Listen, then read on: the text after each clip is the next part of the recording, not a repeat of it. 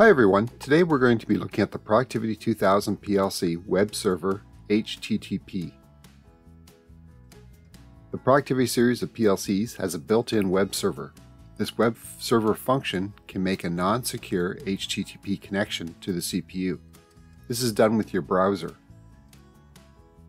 You can view read-only system tags and open, save, or delete files stored on your microSD drive. Previously, we stored data logged files on the USB micro SD storage device. We will now start and configure the web server function. Look at the files from our data logger and view the system files available. Let's get started. Detailed information contained in the video can be found at accautomation.ca. A link has been put in the description below. If you have not watched the other videos yet, there will be links in the description below that will start you at video 1. There will be links to the rest of the videos in the series as well. Productivity Web Server Configuration. Ensure that you are online with the PLC. Under Setup in the Application Tools menu, select Hardware Configure. You can also use the main menu, Setup, Hardware Config. Double-click on the CPU module will bring up the CPU module window. This has four tabs along the top. Options, Ethernet port, remote access, and serial ports. Configuration of the web server is done here. Select the Ethernet tab port. Under the TCP IP settings, we want to set our address for the PLC. This will ensure that the settings will not be changed when accessing the web server. Select the Show Current Settings button. Note the settings and select OK. Select the Use the following radio button and enter the settings.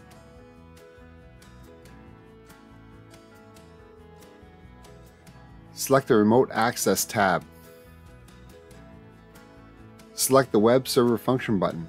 We will leave the default port as 80. Port 80 is the port number assigned to the commonly used Internet Communication Protocol Hypertext Transfer Protocol, or HTTP.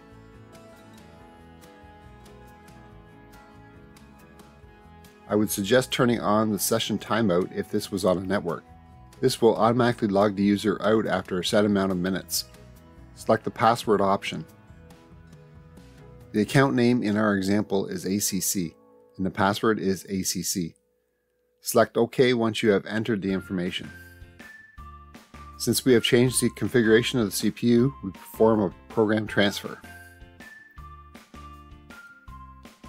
This is a stop mode transfer because of the configuration change.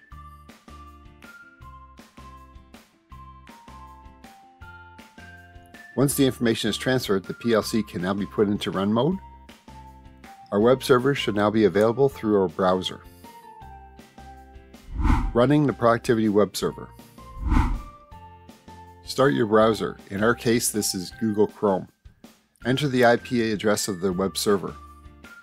In our case, it's 192.168.1.140. This should automatically show you the login screen.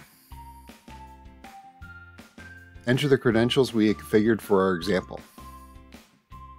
Press the login button. We will now see all of the options on our main index page. The first one is the home. This is the page that we now see. ADC, this is a link that will open the Automation Direct website. Logout, this will log you out of the web server. Help, this is a link that will open the Productivity 2000 user manual online. Download files, this will allow you to open, save, or delete files on the micro SD card. System data, this is a read-only of the system data in the PLC. Select the download files Productivity Web Server.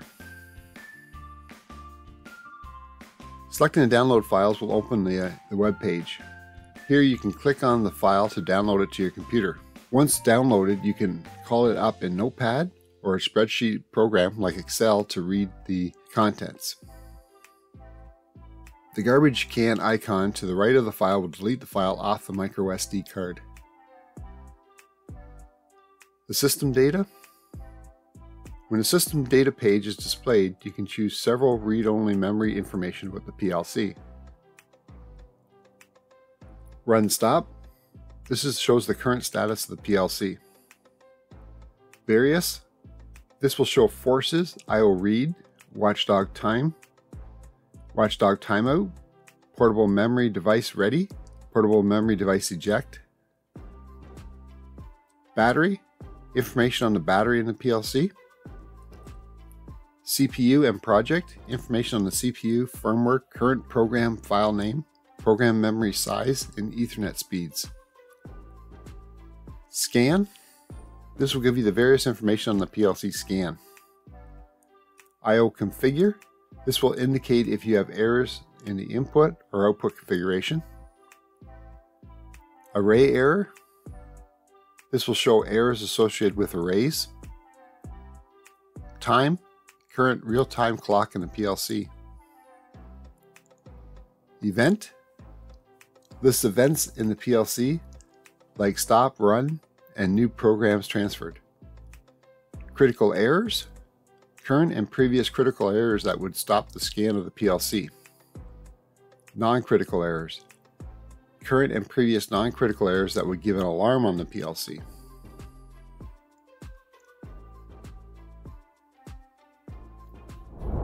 If you enjoyed this video, please hit the like button below. If you have any questions about the video, please leave a comment below and I'll do my best to answer it. If you want more information about us or you want our free ebooks on numbering systems or robust data logging, please click on the link in the description below to get it. A new video is put every Monday, so make sure you hit the subscribe button to get more videos like this in the future.